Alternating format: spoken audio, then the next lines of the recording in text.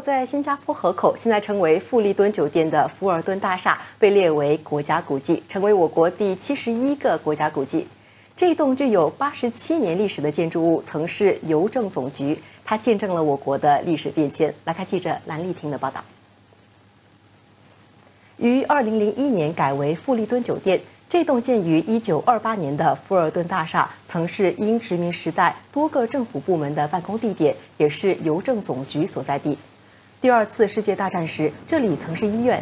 随着英军投降，富尔顿大厦落入日本人手中，成为日军的行政办公室。我国独立初期，它曾是税务局、海事局、经济发展局等政府部门的总部。建国元勋吴清瑞。前总统纳丹以及荣誉国务资政吴作栋都曾经在这里办公。从1950到1980年期间，福尔顿大厦外也举行了不少政治演讲，包括了建国总理李光耀的政治演讲。Mr. Lee Kuan Yew would speak at the PAP lunchtime rally, always a major event in the campaign, and he would always deliver a stirring and memorable speech. usually in the sun, sometimes in the pouring rain. And my mother would sit on a balcony of Fullerton Building and listen to him. One. 总理李显龙为这座具有历史意义的建筑被列入国家古迹主持了仪式。总理表示，在金禧年把这座建筑列为国家古迹更具意义。This transformation of the building is, in a way, uh, reflection of how Singapore as a nation has transformed. In one lifetime, the building has done so, Singapore has done so from third world to first. 酒店也举办展览，讲述这座建筑的历史和故事。这座建筑呢是国家文物局在今年也是新加坡金禧年列入国家古迹的第三座建筑，而另外两个今年被列入国家古迹的建筑呢，分别是玉廊镇大会堂以及冈榜格南皇宫。新传媒新闻记者蓝丽婷报道。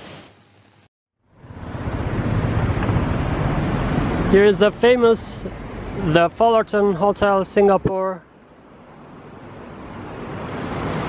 It's a huge amazing building.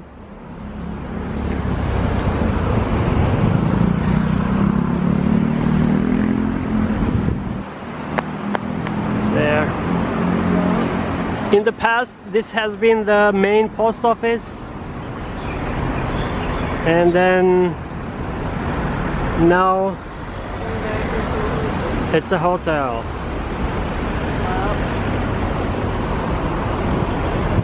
Nice fountains and the entrance on the other way. I think this is the main entrance there. The one where the flags are. Yeah.